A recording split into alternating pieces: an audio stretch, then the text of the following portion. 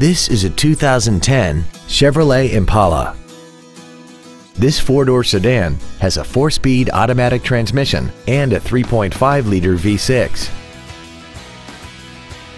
Its top features include a multi-function display, air conditioning, cruise control, a six-speaker audio system, a leather-wrapped steering wheel, a four-wheel independent suspension, 17-inch wheels, a low tire pressure indicator, full power accessories, and this vehicle has less than 41,000 miles.